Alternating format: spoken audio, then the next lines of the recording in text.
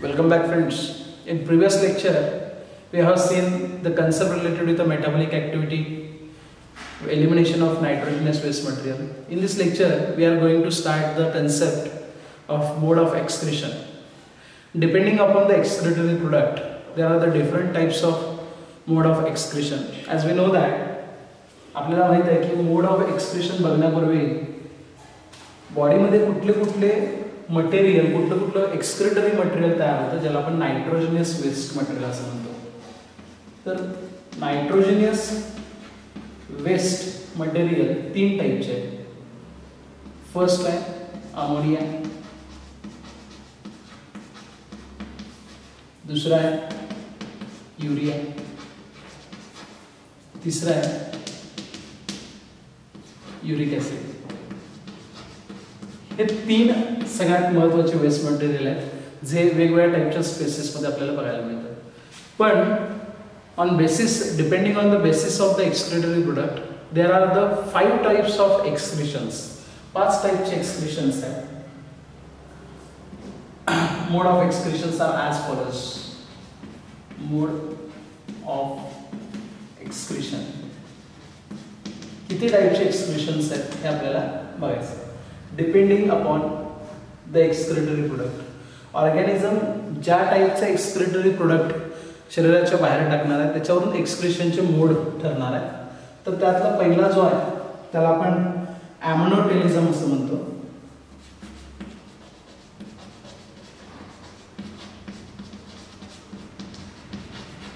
दुसरा जो आहे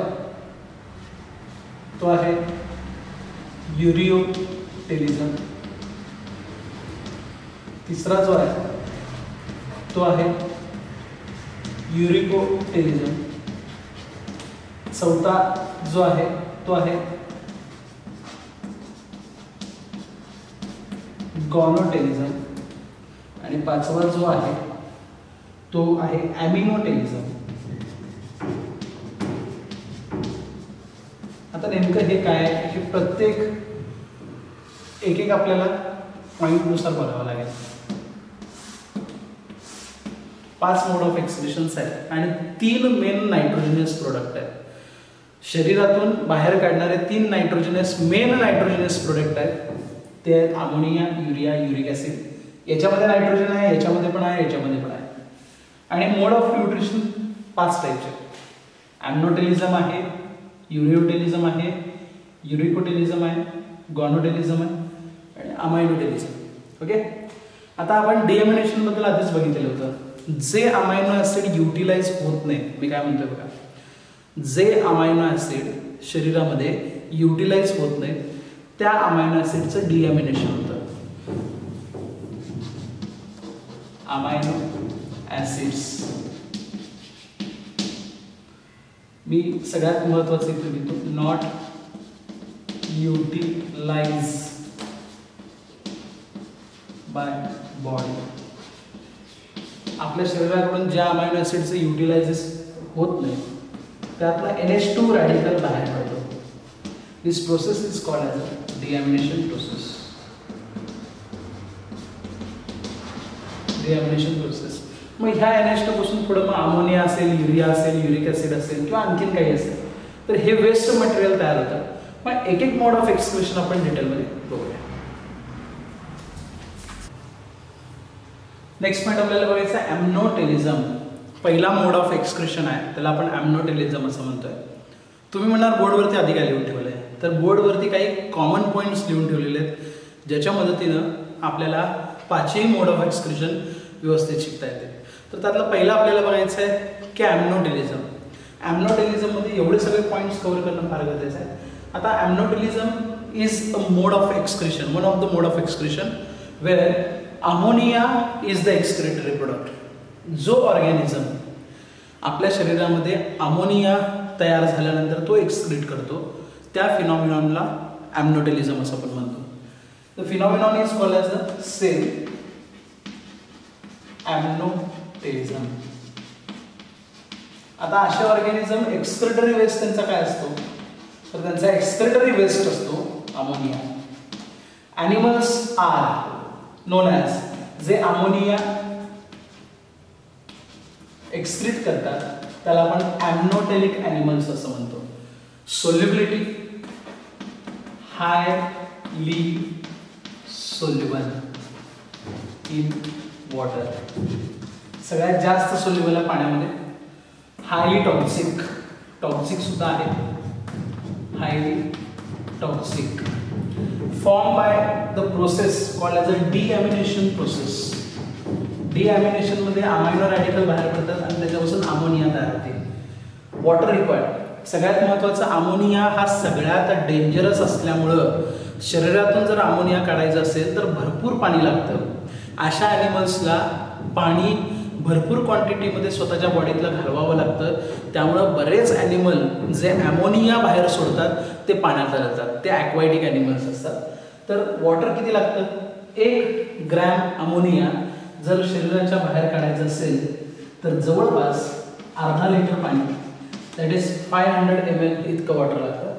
कॉन्सन्ट्रेशन इन बॉडी शरीरामध्ये कॉन्सन्ट्रेशन जेवढं कमी राहील तेवढं चांगलं आहे. कारण अमोनिया हा सगळ्यात टॉक्सिक असल्यामुळं बॉडीतलं जे कॉन्सन्ट्रेशन आहे ते नेहमी कमी असायला पाहिजे. एक्सक्रिटेड बाय मग अशा ऑर्गॅनिझममध्ये एक्सक्रिशन कसं होणार? तर सिंपल डिफ्युजनने एक्सक्रिशन होणार सिंपल डिफ्युजन सोपी गोष्ट आहे. आता ह्याचे एक्झाम्पल्स बघायचे म्हणले. मगाशी मी म्हटल्याप्रमाणे अमोनिया हा सगळ्यात सोल्युबल आहे पाण्यातला आणि सगळ्यात टॉक्सिक आहे. त्यामुळे त्याला भरपूर पाणी लागतंय. मग निसर्गानंच मोड ऑफ एक्सप्रेशन बनवताना अशा ऑर्गॅनिझममध्ये ammonotelic ammonotelism phenomenon establish already केलेलं आहे. जे ऑर्गॅनिझम पाण्यातच सापडतील किंवा ज्या ऑर्गॅनिझमच्या सराउंडिंगला भरपूर पाणी असेल असेच ऑर्गॅनिझम्स असेच जे ॲनिमल्स आहेत तेच अमोनिया एक्सक्रीट करतात. तर त्याचे एक्झाम्पल्स आपल्याला बघायचे आहेत. मी म्हटलं त्याप्रमाणे एक्झाम्पल्स ॲमनोटेलिक ऑर्गॅनिझमचे आपल्याला बघायचे आहेत. बरेचसेच ऑर्गॅनिझम हे ॲक्वायटिक मोडमध्ये आहेत. का? तर त्यांचा जो काय अमोनिया एक्सक्रेटरी प्रोडक्ट आहे तो डेंजरस आहे. आणि तो काढण्यासाठी भरपूर पाणी लागतं. म्हणून निसर्गानंच ह्यांची नियमावली बनवत असताना असे बनवले की यांचं जे सराउंडिंग असेल किंवा यांचं जे हॅबिटॅट असेल ते ॲक्वायटिक असेल. ॲक्च्युली अमोनियाचा बेसिक पी एच कन्सिडर जर केला थोडा जरी पी एच इकडं तिकडं झाला तर डिस्टर्बन्स बॉडीमध्ये एन्झाईम्सचा होऊ शकतो. त्यामुळं ऑर्गॅनिझम्स हे कन्सिडर करत असताना ॲक्वायटिकच करूया. करणं गरजेचं आहे करूया म्हणण्यापेक्षा. प्रोटोझोवन यामध्ये आमिबा आणि पॅरामोशियम आहे. प्रोटोझोवन हे कशात येतात? किंगडम प्रोटिस्टामध्ये येतात. Sponges Porifera Sycon cnidarian coelenterates आहे. हायड्रा ॲक्वायटिक इन्व्हर्टिब्रेट्स कन्सिडर करू शकतो. लिव्हर फ्ल्यूट आहे टॅपवर्म आहे ॲस्कॅरायझिस आहे नेरीज ॲनिमल किंगडम बघितलं आहे सगळे ऑर्गॅनिझम्स ॲक्च्युली म्हणतात आपल्याला. फक्त एक लक्षात ठेवा हे सगळे ऑर्गॅनिझम्स ॲक्वायटिक मोडला आहे काढून बघा पुस्तक. तुम्हाला ॲक्वायटिक मोडच दिसणार. कारण अमोनिया हा इतका डेंजरस आहे की तो लगेच बॉडीतून काढावा लागतो. आणि एक ग्रॅम अमोनिया जर काढायचा असेल तर three hundred M L to five hundred M L water इतकं लागतं. आता हा अमोनिया एक्सक्रेट कशात नव्हतं? ऑर्गन्स कुठले आहेत? तर लक्षात ठेवा किडनी स्किन आणि गिल्स हे असे काही कॉमन पॉईंट्स आहेत. त्या थ्रू आपल्याला पुढचे मोड ऑफ एक्सक्रिशन सुद्धा बघायचे. सेकंड पॉईंट आहे युरिओटेलिझम.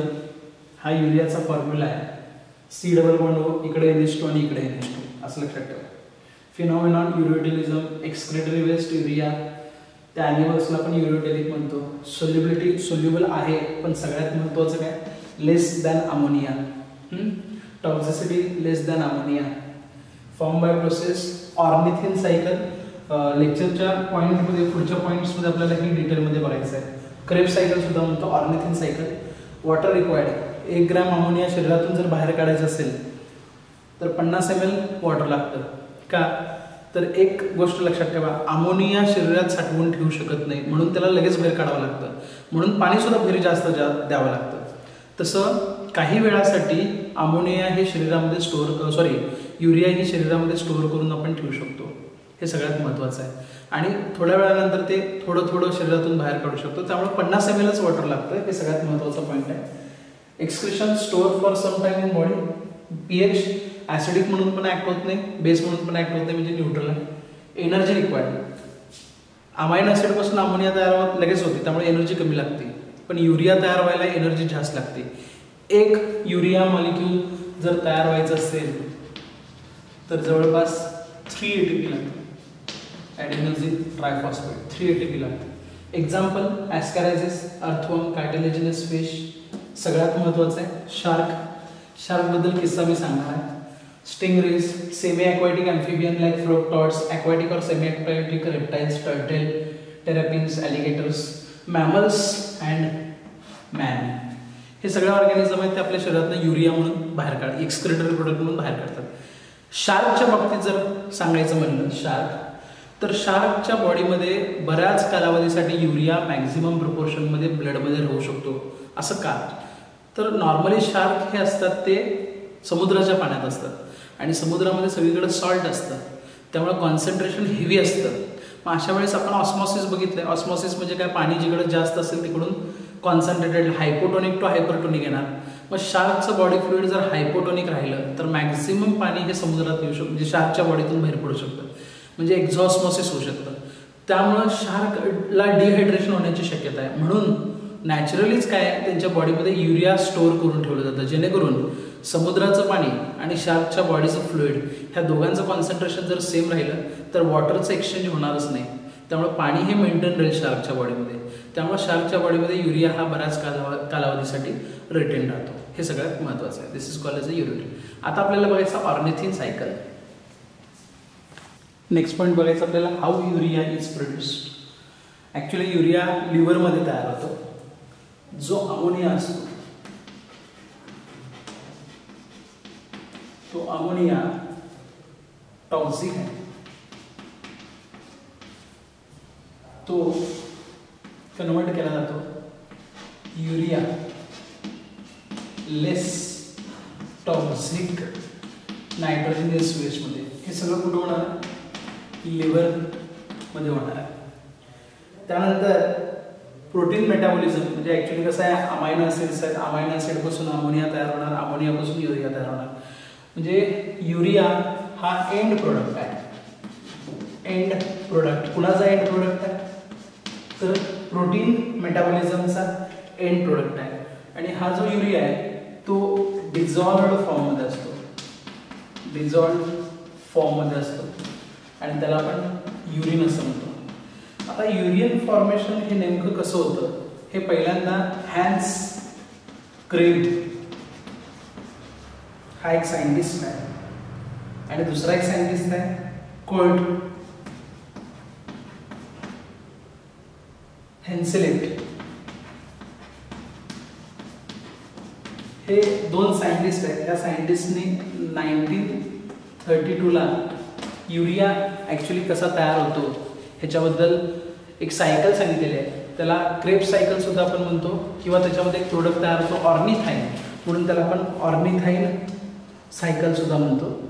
त्याच्यानंतर काही काळानंतर रॅटनर आणि कोहेन हे दोन सायंटिस्ट आहेत. ह्या दोन सायंटिस्टचं सुद्धा याच्यामध्ये कंट्रीब्युशन आहे. आता याच्यामध्ये नेमकं काय होतं बघा. Urea has two amino acid इथं युरिया आहे. युरियाचा फॉर्म्युला आहे कार्बन डबल बॉन्ड ओ आणि त्याला दोन अमायनो ॲसिड्स आहेत. मग हे नेमकं कसं तयार होतं? तर लिव्हरमध्ये कार्बन डायऑक्साईड आणि एन एच थ्री ह्या दोघांपासून कार्बोनिल फॉस्फेट तयार होतं. कार्बोनिल फॉस्फेटचं कन्व्हर्जन सिट्रुलिनमध्ये होतं. सिट्रुलिन बरोबर ॲस्पर्टेट नावाचं एक कंपाऊंड आहे. म्हणजे ऑलरेडी एक एन एच टू इकडून आला आहे आणि ॲस्पर्टेटमध्ये एक एनेश्वर ह्या दोघांचं कॉम्बिनेशन होऊन अर्गेनो सक्सिनेट तयार होतं. आणि आर्गेनो सक्सिनेटचं फ्युमरेट बाहेर पडतून आर्गिनिन तयार होतं. आणि ह्या आर्गिनिनचं ऑर्निथाईनमध्ये कन्व्हर्जन होताना ह्याचं जे कन्वर्जन आहे ह्याच्याबरोबर आर्गिनाईन एस्टो मिक्स होतो सिट्रोल ऑर्निथिन ऑर्निथिन बाहेर पडतो आणि मग त्याच्यापासून C double one two N H two आणि एन एच टू युरिया तयार होतो. आता हे सायकल ॲक्च्युली नाही आहे पण नवीन बोर्डच्या सिलेबसमध्ये ऑर्निथिनबद्दल सांगितलेलं आहे सायकलबद्दल सांगितलेलं आहे. आणि एक युरिया मॉलिक्युल तयार होण्यासाठी तीन ए टी पी लागतात. हे सुद्धा सांगितलेलं आहे. तेवढ्यासाठी हे. माझ्या काही रेफरन्स नोट्स आहेत त्या नोट्समध्ये याच्याबद्दल डिटेल माहिती मिळेल. नेक्स्ट पॉईंट आहे युरिकोटेलिझम युरिकोटेलिझम ते युरिओटेलिझम होतं. हे युरिकोटेलिझम आहे. Formula C five H four O three N four phenomenon, excretory waste, animals uricotelic solubility in soluble in water toxicity एकदम कमी टॉक्सिक आहे. काय त्रास होणार नाही याच्यावर? हार्मलेस आहे. फॉर्म बाय द प्रोसेस प्रोसेसचं नाव आहे आयनोसायनिक पाथवे वॉटर रिक्वायर्ड एक ग्रॅम जर बाहेर काढायचं असेल तर दहा एम एल वॉटर लागते कॉन्सन्ट्रेशन बॉडी लेस असते excretion in form of solid pellets thick paste crystal paste असते बारीक. पक्ष्यांची विष्ट आपण बघितली पी एच ॲसिडिक आहे. एनर्जी अमोनिया युरिया आणि मग युरिक ॲसिड अमोनिया लगेच तयार होतो त्यामुळे एनर्जी कमी. युरिया त्यानंतर तयार होतो थोडी एनर्जी जास्त. आणि युरिक ॲसिड जर तयार असेल तर जास्तीत जास्त एनर्जी लागते. एक्झाम्पल्स सगळे लँडवरती सापडणारे ह्यांची ह्यांचं जे विष्ट असते किंवा यांचं जे एक्सक्रेटरी प्रोडक्ट असतं हे एकदम क्रिस्टल टाईप असतं. थोडं कमी असतं. पाणी कमी असल्यामुळे सॉलिड पॅलेटमध्ये किंवा क्रिस्टल पेस्टमध्ये बघायला मिळतं. त्याचबरोबर त्याचबरोबर मेन पॉईंट सांगायचं म्हटलं तर युरिक ॲसिड जर समजा ह्युमन बॉडीमध्ये जास्तीत जास्त तयार झालं तर असं युरिक ॲसिड जॉईंट्समध्ये ॲक्युमुलेट होतं. त्यामुळे जॉईंटची मुवमेंट करत असताना थोडंसं पेन होतं. हा जो डिसीज आहे त्याला आपण आर्थरायटिस असं म्हणतो. त्याचे टाईप्स आपण लोकोमोशन मुवमेंटमध्ये बघणार आहे. शेवटचे दोन कन्सेप्ट आहेत.